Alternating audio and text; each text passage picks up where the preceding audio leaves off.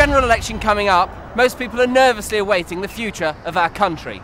But one group of people are more nervous than the average punters the Spads, who are working for both teams. Aileen McDonald is the political editor of Itch Pitch, who have been closely following the Spads. So, who exactly are these people? The Spads? Well, they're special advisors who are supposedly hired for their intelligence, um, but in general are a pretty homogeneously white Oxbridge crowd with about as much experience of the real world as a Kardashian. Mm. Yeah, I mean, you could say that I'm nervous. Um, it's my first job out of uni, and uh, well, it could all be over in a few weeks. What are your other options? Back at defect. Winning the election is our absolute top priority. I haven't given a second's thought to what I'll be doing on May 10th, other than recovering from a massive champagne hangover.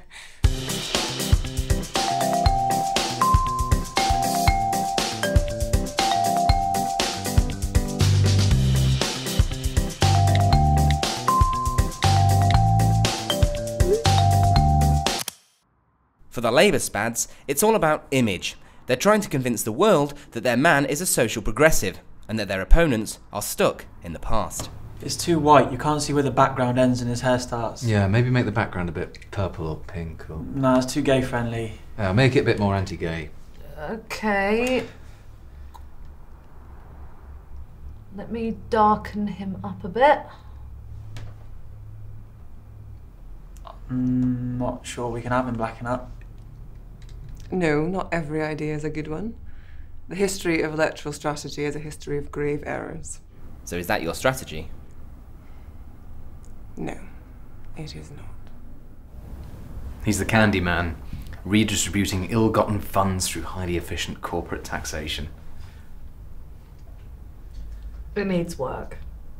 The Conservatives, meanwhile, have their own generation of bright young things working to sell Boris Johnson's brand of centrist politics to young radicals. Teaching children how to use combine harvesters so that they can learn about organic foods.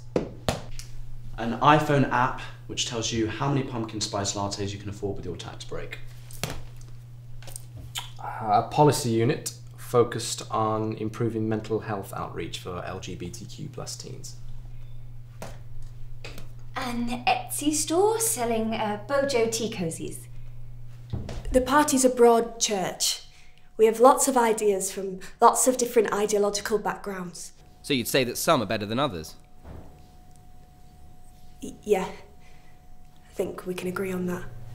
A Ministry of Housing Twitter account that retweets spare room letting opportunities. Intercept. We buy a vintage Mini Cooper we whack some epic speakers on the top. We drive around Britain playing God Save the Queen until we're a country of patriots again. Plan B.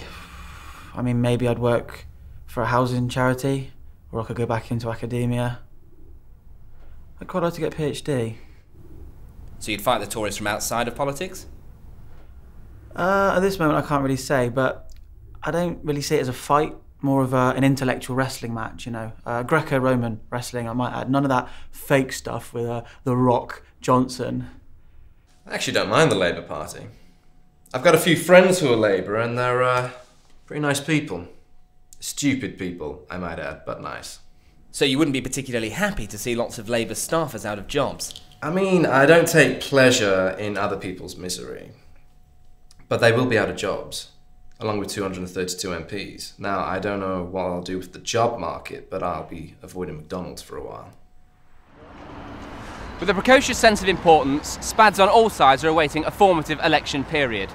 In a few weeks' time, they'll be scrambling for jobs, and if history's anything to go by, they'll be applying for the most high profile careers in the country. But for now, they await, nervously, for the British public to go to the ballot boxes and decide their fate.